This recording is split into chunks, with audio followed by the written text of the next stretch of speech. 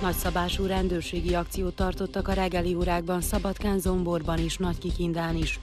Gépfegyvereket, puskát, pisztolyokat, lőszereket és egy tucatnyi szúróeszközt foglaltak le a hatóságok, amelyeket minden bizonyal a migránsok csempészésével foglalkozó bandák tagjai használtak nap mint nap. Elkezdődött az iratkozás a szerbiai középiskolákba. A kívánságlisták első körének eredményeit tegnap tették közzé. Első körben a tanulók 87%-a jutott be az általa első három helyen feltüntetett iskolák valamelyikébe. 65%-uknak sikerült felvételt nyerniük a kívánságlista első helyén szereplő intézménybe. Az Északbácskai körzetben 1470 tanuló fejezte be az általános iskola 8. osztályát, közülük 160-an nem töltötték ki az első körben a kívánságlistát.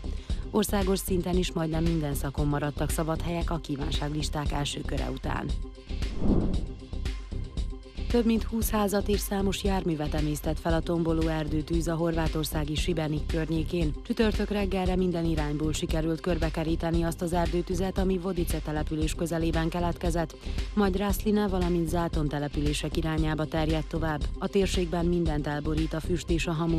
A tűzvészben 20 lakóház égett le az éjszaka során, 10 Rászlinában, 10 pedig Zátonban. Több helyi utat lezártak.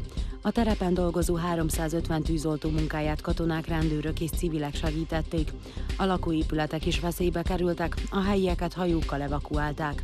Beslések szerint a tűz mintegy 3000 hektár területet pusztított el. A maihoz hasonlóan holnap is 30 fok felett alakul a hőmérséklet. Az északi területeken este több felé előfordulhat zápor, ahogy szombaton napközben is. Helyenként erős zivatarok is kialakulhatnak. A legalacsonyabb hőmérséklet 20, a legmagasabb pedig 30 fok lesz. Vasárnap a napos időszakokat gyakrabban zavarhatják gomoly felhők, de csapadékra nem kell számítani.